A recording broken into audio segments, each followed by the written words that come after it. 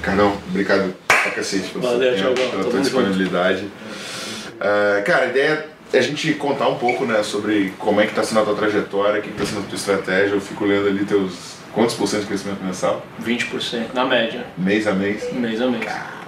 Cara, conta um pouco da história da Hamper e como é que você está criando essa máquina. Legal. Bom, acho que primeiro é, é importante deixar claro que a Hamper ela não, não começou já como Hamper, né? Tem uma história por trás. A gente já começou como uma empresa de serviço que foi fundada em 2012.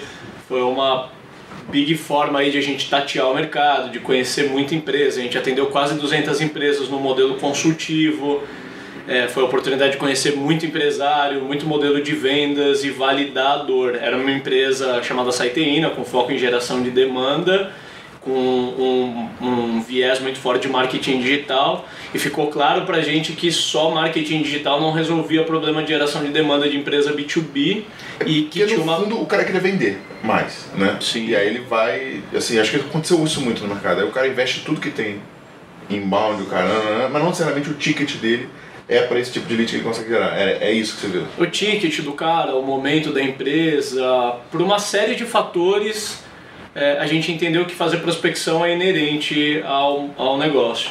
E que prospecção estava mais marginalizada até então porque o método que vinha sendo empregado para prospectar era de fato muito ineficiente. Aquela história de, de comprar a lista ou de botar o cara para ficar garimpando a internet atrás de alguma coisa e depois fazendo cold call é o que não, não parava em pé. Isso estruturado em cima de um método, com tecnologia para apoiar, tem uma outra pegada de funcionamento. E aí, quando é que nasceu o Ramp? Quando é que você virou essa chave? Legal. É, bom, no final de 2015 a gente estava com dificuldade na operação de serviço, a gente tinha só crescido até então, o custo da empresa estava alto. Nesse ponto o cenário ficou bastante hostil, tanto o cenário econômico, o cenário competitivo para empresas de marketing digital, uma série de coisas acontecendo e eu, eu como empreendedor também já estava descontente com o modelo de negócio. É, a gente. Bom, o Henrique tinha acabado de vir para o time, o Henrique é desenvolvedor, veio para ser CTO já com o objetivo de desenvolver produto. Você ia criar alguma coisa, não sabia o que A era. gente queria criar um primeiro um produto para a área de marketing digital, que era o que a gente fazia até então. A gente chegou a desenvolver e até a tentar lançar, Concorrente do RD? não chegava a ser um concorrente da RD, ele tinha uma proposta diferente, mas é, ia acabar tendo alguma, alguma. O cliente que usaria um não precisaria do outro, embora fossem produtos completamente diferentes. Mas é, a gente resolveu não, não continuar com o desenvolvimento do produto, a gente chegou a tentar lançar e tal. E o cenário nosso no começo de 2016 foi que eu tinha tirado a energia da empresa de serviço, os clientes bons tinham ido embora, a gente tinha colocado o caixa da empresa para desenvolver um produto que a gente não ia levar adiante, a gente estava. Bem aerobics.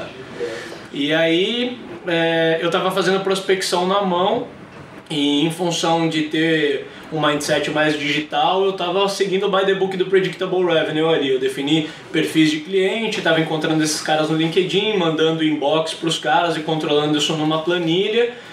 De forma bem breve, eu catei com o Henrique ali e falei, cara, não dá para desenvolver um produto que faça isso, que me ajude a construir lista, que automatize o envio de e-mail para o cara para não ter que ficar mandando e-mail e que faça os follow-ups e no lugar de ter uma planilha, o cara tem um, um, um CRM de prospecção, uma área de controle da prospecção. parado já o de marketing, ou continuava?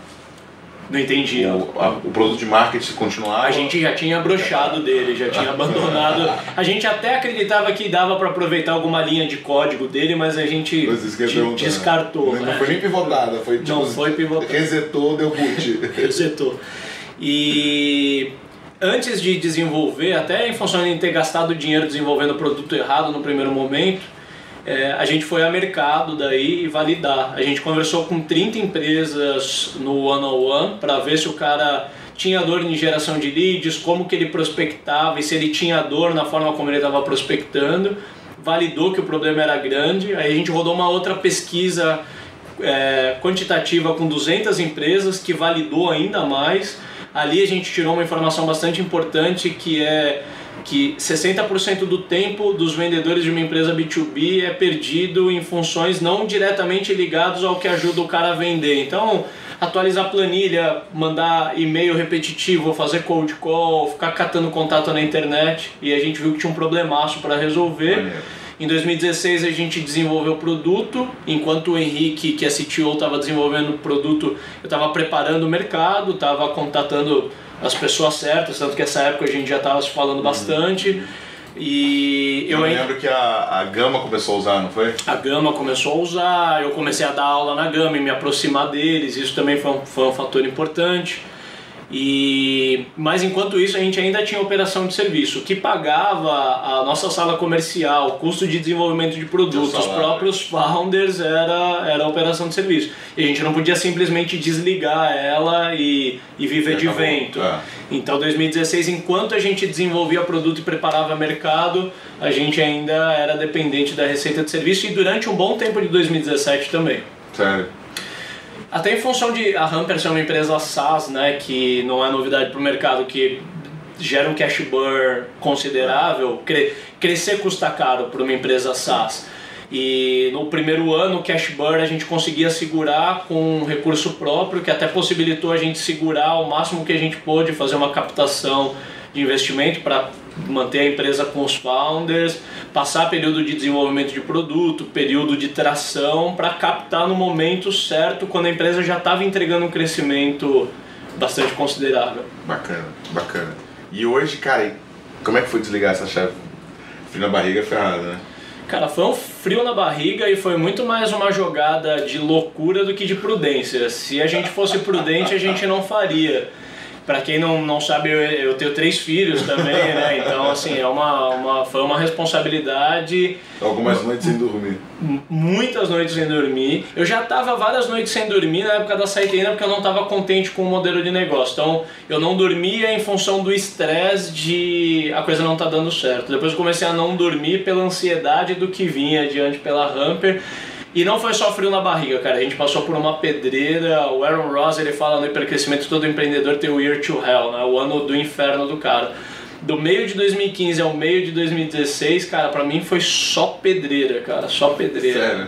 Em todos os aspectos que você imaginar. E foi importante, cara. Foi uma era assim pré-lançamento do Hamper que realmente testou a mim, ao Henrique, engrossou a casca, validou a gente como empreendedor e, e preparou a gente para tudo que a gente está passando hoje. Animal, animal. E hoje, cara, como é que tá? Pode falar o número de clientes? Posso falar, cara, a gente está prestes a bater 500 clientes Caraca, ativos. É, a gente tinha um décimo disso há um ano atrás. É para contar um pouquinho da história pós-desenvolvimento aí do software. É, começo de 2017 a gente começou a vender. Na época estávamos só eu e o Henrique nesse escritório aqui que a gente está hoje. O Henrique totalmente focado no produto, eu fazendo vias de pré-vendedor, de marketing, de vendas e de customer success. A gente queria levar nesse modelo mais longe possível, até porque, cara, a gente tava sem grana e a gente já, já tinha levado um tombo com outro negócio, então a gente já tinha um combinado ali de que a gente não ia aumentar o nosso compromisso, o nosso risco, enquanto o negócio não tivesse realmente tracionando. O marco pra gente era ter mais ou menos 100 clientes. Você sozinho fez 100 clientes? Não, eu fui até. O combinado era, mas a gente estava fazendo mais rápido do que o previsto. E na medida que a gente já tinha clientes para atender, a base já estava me demandando, eu ainda estava tocando marketing, tocando outras, outras funções de founder. E eu estava fazendo 10, 12 demos por dia nessa época. Eu saía todo dia 11 horas do escritório e não dava conta da minha agenda. Eu falei, é mais prudente trazer um cara de vendas já mesmo antes de ter batido a meta que eu estabeleci para mim, eu já estava batendo a meta de um vendedor mensal, né, em MRR nova. Mas o meu acordo era chegar em 100 clientes antes de contratar. A gente teve a oportunidade de trazer o Diego, que foi o primeiro vendedor, que já veio da, da indústria SaaS. Foi uma oportunidade de trazer um cara, eu estava sem tempo de treinar alguém. Ele fez shadow comigo durante uns 10, 15 dias e começou a vender. E em um mês ele assumiu meu pipeline, começou a bater né? meta. Aí eu saí de vendas da linha de frente, Mas continuava chutando umas pro gol. continuava chutando umas pro gol. É, mas foi, acho que foi um movimento importante eu ter saído. Durante os dois primeiros meses do Diego, éramos dois vendedores. Depois eu vi que eu teria mais valor ajudando ele a vender é, e já olhando as próximas contratações, porque daí veio a Bruna, a primeira Customer Success, depois veio mais um par de vendedores e assim começou, né? Hoje a gente tem, na área comercial como um todo, a gente tem dois SDRs, é, cinco account executives, os cinco estão rampeados, então a gente está trazendo mais dois para iniciar a ramp up agora, no mês de maio. E a gente tem mais três Customer Success, a gente deve trazer também mais umas duas pessoas esse mês para começar o, o, o ramp up. E SDR a gente deve trazer mais um ou dois também. Legal. Então esse time tem mais o. Hoje o, você não tem SDR?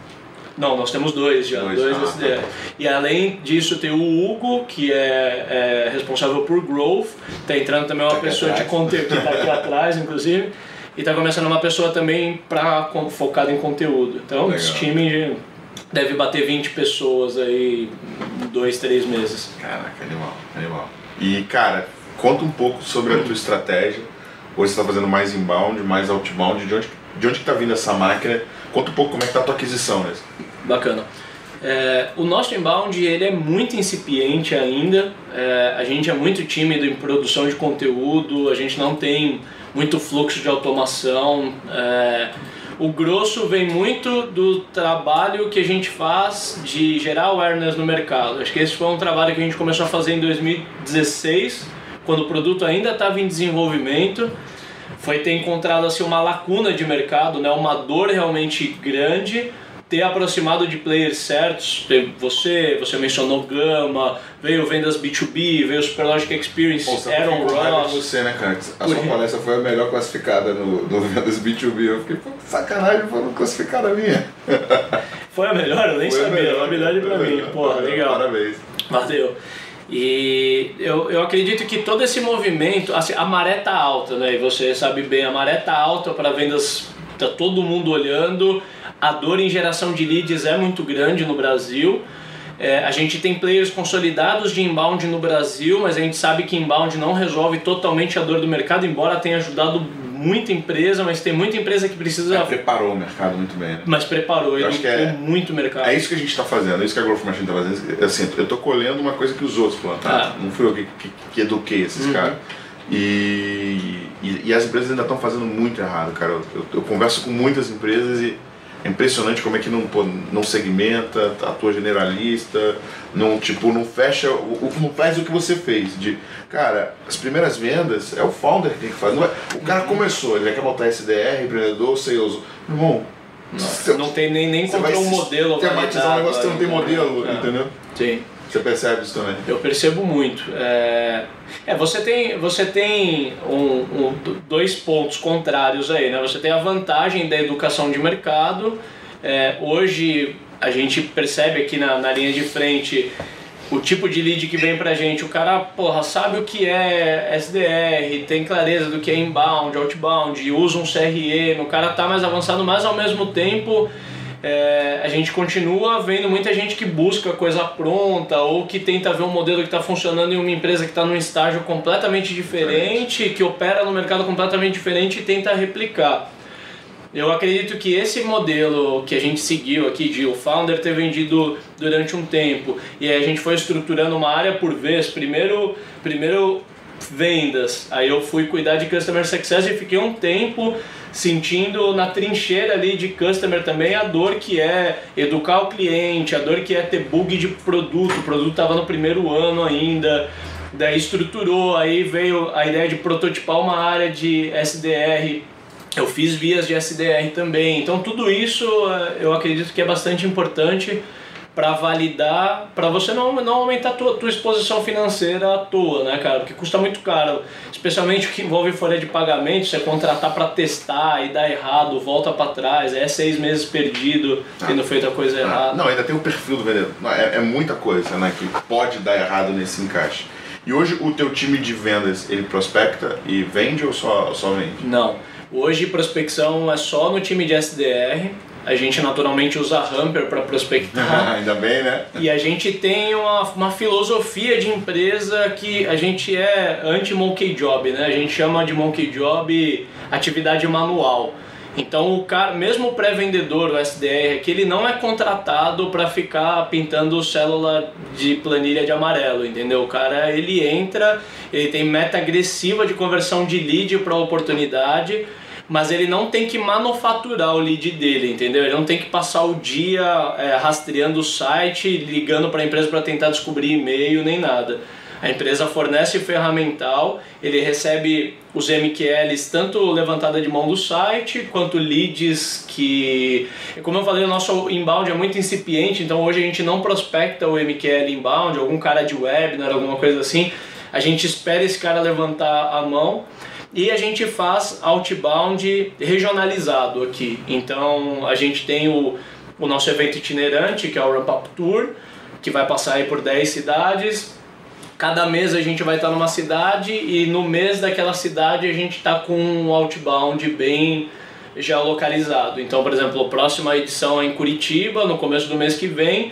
Esse mês o time de SDR tem uma meta de gerar leads outbound na região de Curitiba, tanto para ajudar a encher evento o evento é uma oportunidade para nós também de fazer um field massificado, né? Ali a gente já encontra... Os já, já vão um pouco antes, aproveita a agenda. É, a gente já procura aproveitar a agenda na cidade, aproveitar que vai estar tá lá. A gente tenta centralizar bastante no evento, que é no evento que a gente tem a oportunidade de o cara ir lá e viver um pouco um, um, um dia da nossa cultura. A Universidade Previsível também está com a gente. É um dia inteiro de de evento? É, é, um dia inteiro de imersão. A gente chama de, de day out em vendas, né? A gente fala, cara, traz, não vem só o gestor, traz o teu time e vem para cá. São conteúdos práticos, não, não tem tanto um propósito de workshop ou treinamento para o cara se certificar, nem nada, mas é, são empresas que vão lá é, eu, por exemplo, faço isso, abrir o capô de como que a gente está fazendo dentro da nossa operação, como que a gente gera métricas, como que a gente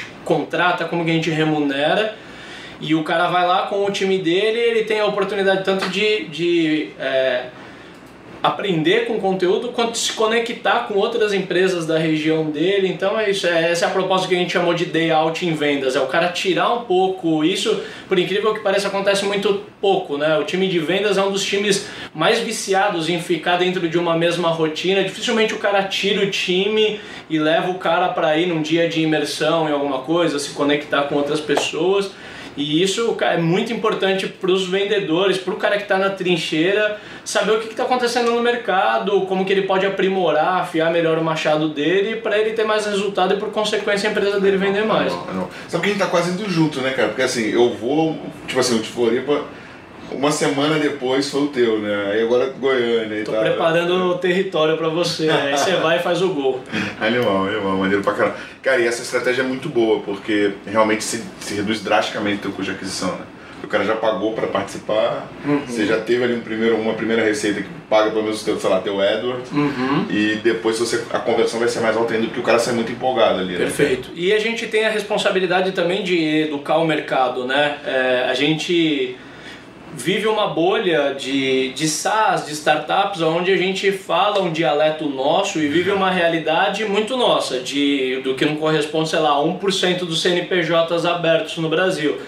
Mas Brasilzão afora tem um monte de empresa B2B, é, que o cara vende serviço, é uma contabilidade, é uma empresa de benefícios, é uma empresa às vezes de sistema que é software, mas que tem uma uma pegada um pouco mais tradicional que não está tão conectada com a nossa realidade. Então, esse projeto do Ramp Up Tour em específico foi uma iniciativa que nasceu minha com o Eduardo Miller, do, da Universidade Previsível, de, ah, cara, a gente tem que pegar isso que a gente vive nas nossas empresas, nas empresas dos caras que estão ao nosso redor e levar isso daí é, Brasil afora, esses conhecimentos de vendas B2B, um pouco do que acontece no Vale do Silício e da realidade de quem está aplicando aqui também, para essas outras empresas tatearem isso e verem o que, que elas podem extrair para aplicar na, na realidade não, delas. Não, hoje não gera receita, né? hoje meio que se paga. Né? Não, o foco do evento não é gerar receita, Legal. é gerar educa, preparar mercado, porque a gente tem uma meta de crescimento agressiva aí pelos próximos anos.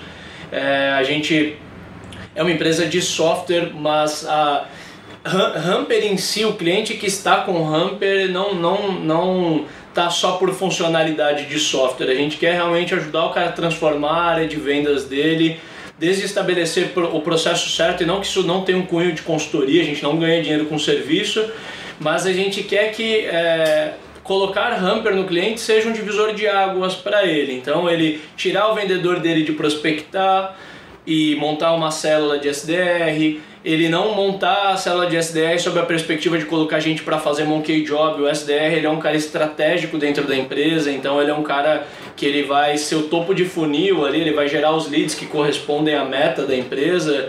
Então, todo esse ponto de vista que para a gente que é da, da nossa indústria SaaS que fala sobre isso já tem alguns anos, que parece óbvio, não é a realidade da maioria das empresas. E realmente quando a gente pega uma empresa, eu não estou falando de uma empresa pequena, às vezes uma empresa já que, que fatura muito mais do que essas empresas da nossa bolha, o cara está numa realidade completamente distinta. Ele tem aqueles dois, três vendedores que trazem a receita toda da empresa, que o cara não é replicável, o cara não tem um método a ser seguido e aquela empresa ela, ela cresceu e ficou grande até ali, mas ela vem fazendo resultados piores ano a ano e não sabe por quê e ela precisa reinventar, cara. A maneira como a gente vendia software, serviço, é, ou qualquer coisa B2B até 2010 mudou absurdamente, né? Eu estou fechando um workshop em company. Na verdade é a minha imersão, né? Que é um dia inteiro trabalhando tudo, bem parecido com o que é o bootcamp, mas para um cliente específico. Legal. Numa empresa bem tradicional. Cara, e assim, você vai falando as coisas, assim, tipo, pra gente é normal, os caras, uau! É. Uau! Como é que faz isso? E assim, cara, é, a gente é acostumado, né? Só que os caras estão vendo que aquele modelo que por muito tempo sustentou eles não funciona mais. Sim. Então, ou o cara acha um outro caminho, ou, né? Ou as startups vão, vão engolir, engolir. ou quem está fazendo da, da maneira certa engolir. vai engolir. E eles chegam assim, cara, me explica, como é que a, essa empresa aqui, que não tinha nada, em três anos tem 40 milhões de, de faturamento? Como é, que, como é que os caras fizeram? Tipo assim, não dá para entender, né, cara? Uhum.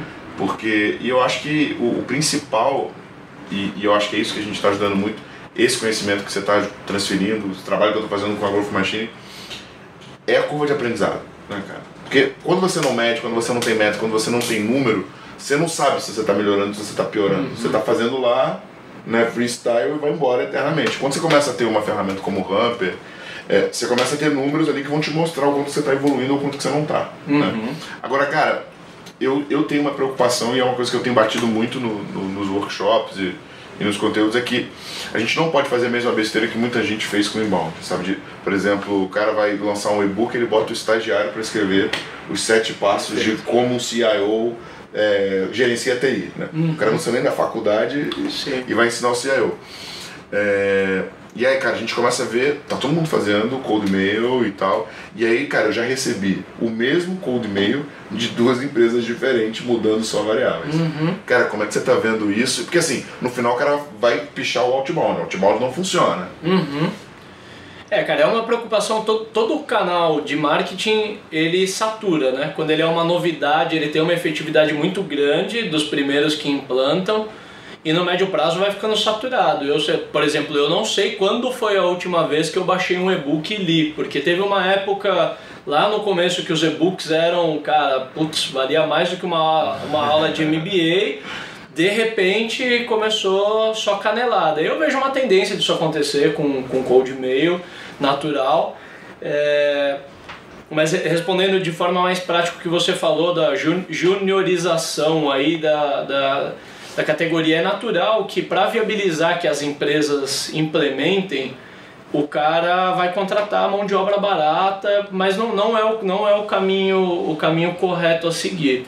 Eu volto a repetir, né? a gente procura tirar o monkey job da área de vendas para desafogar aquilo para que a empresa consiga ter bons profissionais fazendo. Você contrata um cara muito júnior, que está muito no começo, quando você sabe que o cara vai ter que ficar empurrando pedra morro acima o mês inteiro, aí você vai pegar um carinha para pagar mal para ele fazer. Se você consegue tornar o trabalho de prospecção, de qualificação estratégico, a perspectiva do cara que você vai contratar muda. E aí você começa a ter uma característica de um SDR que é um cara que ele sabe ser estratégico, porque ele vai trabalhar com definição de perfil de cliente ideal, ele vai traçar as estratégias de onde encontrar, como construir essa lista, ele vai pensar em copy de e-mail, então ele tem que ter habilidade de redação, ele tem que ser um cara analítico, porque antes o SDR que ficava prospectando na unha, ele a pegada dele era ficar ligando e atualizando o sistema o dia inteiro. Então esse cara ele, ele faz um trabalho de quebrar pedra, não manual. Pensa, né, não pensa, ele não tem tempo de parar e analisar se o que ele está fazendo é efetivo. Se ele tem solução, que não precisa ser necessariamente a Hunter, né? mas se ele tem alguma solução que apoia ele e que está ajudando ele a não fazer esse trabalho manual, automatiza isso para ele, ele tem tempo para olhar se o que está sendo feito está é, tá surtindo algum efeito para ele. E aí você libera todo esse tempo do trabalho manual do cara e coloca o SDR para fazer o que ele é importante, que é a qualificação, né? É gerar oportunidade, é ver dos dos leads que ele está trabalhando, quem está pronto para avançar no, no processo comercial. Se o cara ficar quebrando pedra o dia inteiro, ele não tem tempo de fazer isso. O que ele vai fazer para dar um jeito de bater a meta dele, ele vai passar a oportunidade ruim para frente, isso acarreta em todos os outros problemas que a gente vai, sabe que. Bola de neve, né? Bola de neve.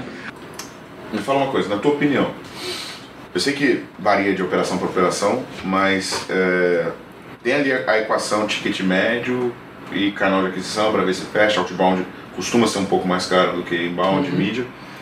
Mas se acredita mais, cara, e eu tive um papo com o Dieguinho sobre isso, não sei se tu viu, tem uns, acho que uns seis episódios.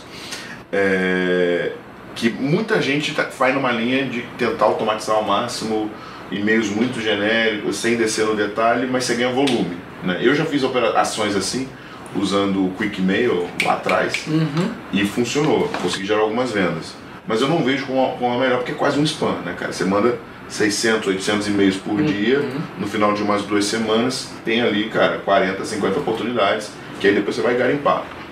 E tem o, o, o outro perfil, né? O cara que puta, vai no detalhe, pesquisa, vai lá, usa data analyze, analisa o código do cara, pô, o cara tá usando RD com sei lá o que, cria tese de problema, vai no LinkedIn, vê que o cara acabou de mudar de emprego e tal e aí faz aquele meio de exploração mostrando que efetivamente estudou. Uhum. Na tua opinião, qual o caminho, o que, que funciona melhor, o que, que você vê na tua base tracionando mais? Legal.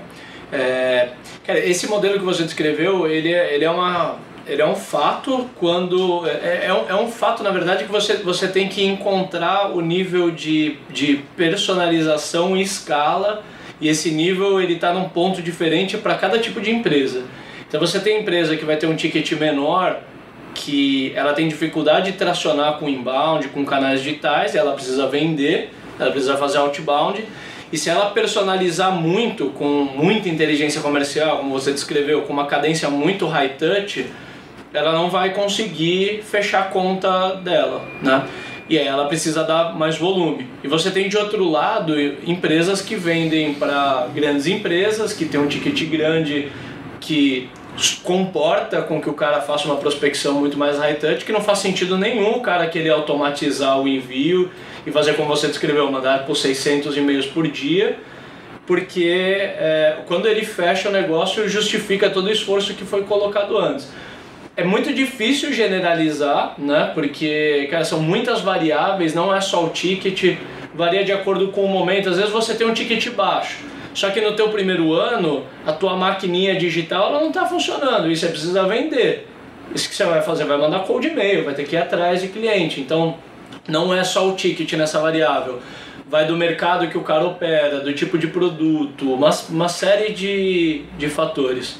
Bom, uma coisa interessante é que na medida que você consegue ter mais inteligência no teu processo e consegue automatizar mais, você começa a tirar aquele viés de que outbound é só para empresa que tem um ticket muito grande, para venda muito complexa, e você começa a ver operações de inside sales com ticket médio relativamente baixo, como é a própria Hamper, se beneficiando do outbound para crescer mais rápido. E nesse caso, É, o, o outbound ele não é para você dar um tiro de canhão, né, cara? Não é para você. Eu, por exemplo, eu, eu, não considero acertado uma estratégia de mandar 600 e-mails por dia. Pode ter sido o momento que você fez, mas, por exemplo, a gente usa outbound para resolver um problema pontual nosso aqui. Por exemplo, a gente tem um evento em Curitiba daqui a um mês. A gente quer que a região lá saiba que a gente vai estar tá lá e tal. Como que a gente vai chegar num, num espaço de um mês em todas as empresas que precisam saber que a gente vai estar tá lá, cara, vamos fazer outbound, vamos usar cold mail para fazer. Não é, é, no caso da Hamper, por exemplo, a gente não vive 100% disso. A gente tem várias outras é, técnicas, vários outros canais para gerar esses leads, mas a gente usa para resolver um problema bastante específico. Então, acho que como mensagem final em cima dessa resposta é isso, cara. É, o outbound, seja ele massivo, seja ele mega personalizado, ele não vai resolver o problema como um todo, né?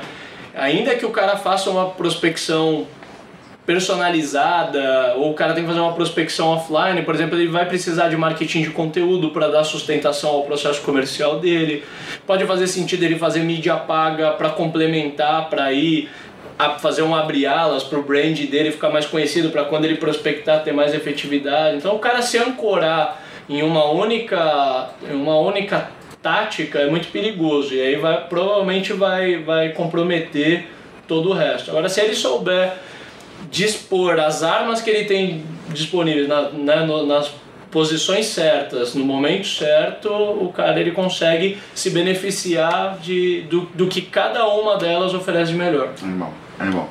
Cara, eu tava na Salesforce com o Daniel Roy e ele falou assim que né, nasceu lá, né? O Predictable Iron, né? Tem 12 anos. 12 anos. E a gente tá falando disso como se fosse uma grande novidade. Né, cara? cara, o que, que você tá vendo de tendência e de evolução no, no outbound lá fora? Eu sei que você tá muito conectado. O que, que você vê aí como um caminho que, que tá surgindo? Beleza. É, bom, em primeiro lugar, assim, o Predictable Revenue, tudo que o Aaron tra traz não é tanto uma, a, a galera enviesa muito para a técnica do cold mail, né? Que eu acho que o que o Predictable Revenue traz é um mindset de você construir uma máquina de venda, senão você não atravessa aquele pisando em brasas que ele fala, né? O que é, a, o que é a realidade, por isso que o Predictable Revenue ele tá tão atual no Brasil hoje, porque a realidade da grande maioria das empresas é que o cara viveu de indicação e de networking até ali e qualquer coisa que acontece, muda o cenário econômico, qualquer que o cara tá sensível a, a balançar o negócio dele ou até deixar de existir. E a proposta matriz do livro é, cara, construa uma máquina de vendas. Não é o cold mail, não é o inbound, não é. Você precisa encarar vendas como um processo, como uma engenharia, onde você bota os leads, que são os insumos, produz aquilo e manufatura um cliente na outra ponta e se você conseguir acertar nesse modelo e replicar, você vai ter muito mais previsibilidade do, do teu conhecimento. Isso, isso não fica desatualizado, porque isso é uma realidade. Sabe? E, e uma outra coisa é que, tipo assim, o, o pessoal acha que o Aaron criou isso, mas se você pegar a especialização de função, início do século, a indústria de seguros criou a figura do farm e do closer. Sim. Sim. Ele só, o que eu, assim, eu admiro muito o trabalho dele, mas eu acho que o que ele fez foi compilar muito bem e, e resumir. Óbvia, né, é. o, a, a, questão da especialização, o, o Charles Shell lá do Atravessando o Abismo também fala que você tem que, pô, pra entrar no mainstream você não vai conseguir entrar em generalista. Tem que ser com nicho. Tem que ser no nicho e tal. Eu concordo, ele juntou uma série de elementos que são simples, que beiram o óbvio, mas que trabalhando em conjunto é. funcionam, né? Então é funcional. Agora respondendo em termos de, de tendência. tendência é muito charmoso falar sobre inteligência comercial, é, inteligência artificial, sobre learning machine e tal, mas isso é muito legal dentro da nossa bolha de software e de startup. Vamos lembrar que a realidade é. da maioria das empresas indo Brasil afora é o cara não tá batendo meta o vendedor não tem lead para trabalhar, o vendedor está se ferrando atrás de lista e fazendo cold é. call para é, vender. É publicar um site, porque muitos não tem nem é, site na internet. Muitas vezes o cara ele não tem nenhum site, então ele está na era pré, o que a gente está falando que aqui inbound já atingiu uma, uma saturação. Para esse cara, inbound é, é. Se um cara lá falar de inbound para ele, parece que vê um cara do futuro falar com ele.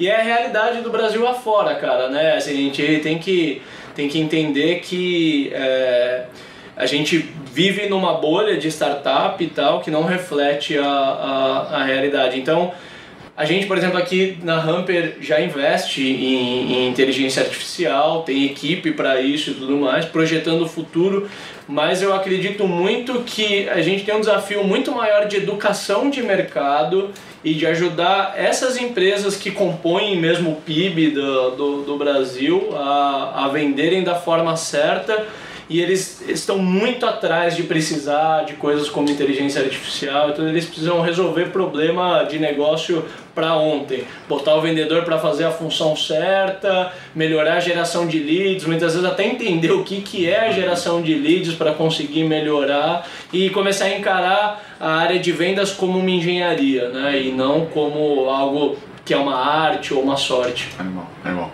Cara, que última dica você deixaria para a galera do Growth Machine Pra quem está começando. Bacana. É, acho que combater ao máximo o monkey job dentro da área de vendas é algo que é um mantra pra gente aqui dentro da Hamper.